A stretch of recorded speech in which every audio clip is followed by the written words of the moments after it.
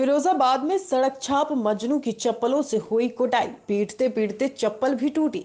जगह जगह anti Romeo टीमें गठित की गई हैं। वहीं सिरसागंज इटावा रोड पर एक मजनू के हौसले इतने बुलंद हुए कि राह चलती लड़की से आई लव यू बोलने लगा और काफ़ी दूर तक पीछा करता रहा। जब हद हो गई तो लड़की ने चप्पल उतार मजनू की कुटाई शुरू कर दी। कुटाई इतनी ज़बरदस्त थी कि लड़की की चप्पल भी टूट गई।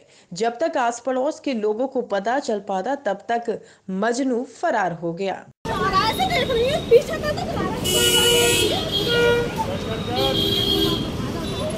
कहाँ का आई है कहाँ का है?